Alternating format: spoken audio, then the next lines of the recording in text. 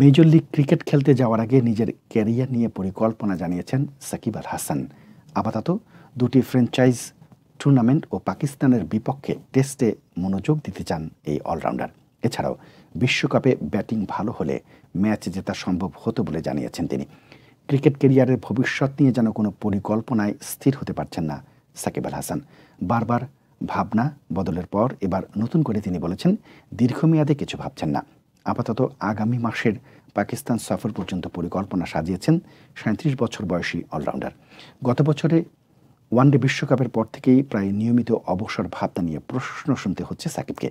অধিনায়ক হিসেবে ওই বিশ্ব আসর খেলতে যাওয়ার আগে টি স্পোর্টসে দেয়া এক সাক্ষাৎকারে তিনি বলেছিলেন, দু বিশ্বকাপ খেলে ছেড়ে দেবেন টি টোয়েন্টি সংস্করণ। আর দু হাজার পঁচিশ সালের চ্যাম্পিয়ন্স ট্রফি খেলে আন্তর্জাতিক ক্রিকেটকে বিদায় জানাবেন। সদ্য সমাপ্ত বিশ্বকাপ চলাকালেও ক্যারিয়ারের ভবিষ্যৎ নিয়ে প্রশ্নের উত্তর দিতে হয় অভিজ্ঞ অলরাউন্ডারের। তখন তিনি ভাবনার পরিবর্তনকে স্বাভাবিক প্রক্রিয়া হিসেবে উল্লেখ করে বলেন, যখন সময় হবে, সবাই সব জেনে যাবেন।